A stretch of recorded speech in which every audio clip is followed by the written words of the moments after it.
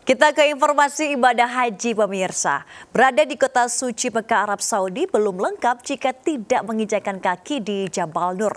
Jabal Nur merupakan tempat bersejarah yang menjadi sesi bisu perkembangan peradaban agama Islam.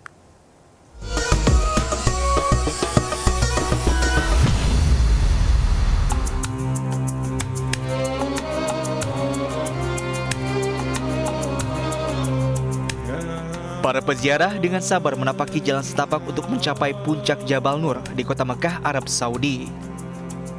Dataran tinggi dengan 600 anak tangga ini berjarak sekitar 6 km dari Masjidil Haram. Di Jabal Nur terdapat Gua Hiro yang menjadi tempat pertama kali Nabi Muhammad SAW menerima wahyu dari Allah Subhanahu wa taala. Para peziarah bergantian melaksanakan sholat di dalam gua. Untuk berkunjung ke Gua Hiro, para peziarah disarankan datang di waktu pagi hari atau sebelum matahari terbit untuk menghindari sengatan terik matahari secara langsung.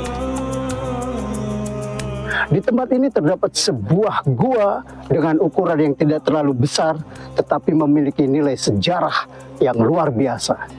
Nabi Muhammad SAW pertama kali menerima wahyu dari Allah Subhanahu wa taala dengan turunnya surat Al-Alaq 1 hingga 5.